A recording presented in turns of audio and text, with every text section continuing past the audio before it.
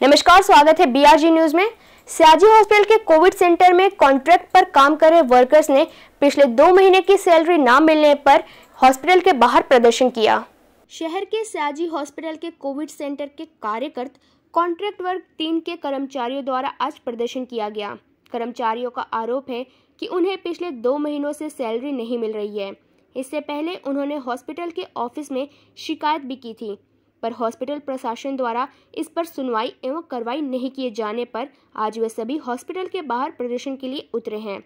आपको बता दें तकरीबन डेढ़ सौ के करीब कर्मचारी हॉस्पिटल के बाहर प्रदर्शन के दौरान देखे गए અમારી છે ને બે મહિનાથી સેલેરી નહીં આવી અને જ્યારે અમે ઓફિસે જઈએ છીએ ત્યારે અમને કોઈ જાતનો કોઈ રિસ્પોન્સ મળતો નથી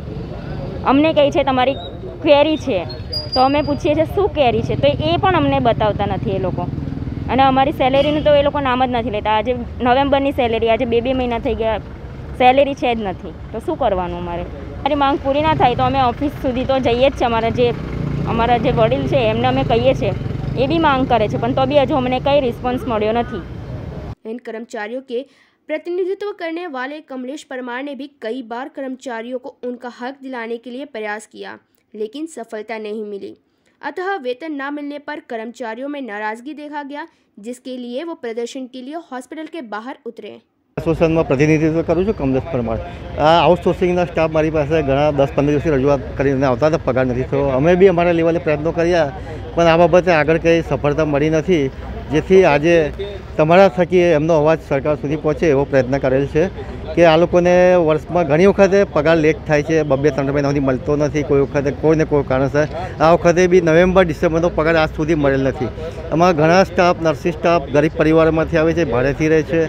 જે બાબતે એ લોકોનો બબે ત્રણ મહિના પગાર થતો નથી જે બાબતે અમે અગાઉ બી રજૂઆત કરેલી છે અને આજે બી રજૂઆત કરીશું સાહેબને કે આ વહેલી તકે પગાર થાય એનું કંઈ કાયમી નિરાકરણ આવે અને ખાસો એવો વધારો મળે એ બાબતે અમે મહત્તમ પ્રયત્ન અબ ખબરો સે લગાતાર અપડેટ રહેના હુઆ આસાન बीआरजी न्यूज़ आपके मोबाइल स्क्रीन पर। आज ही बीआरजी न्यूज़ की mobile app Google Play Store और ऐप स्टोर से डाउनलोड करें और खबरों से लगातार जुड़े रहें।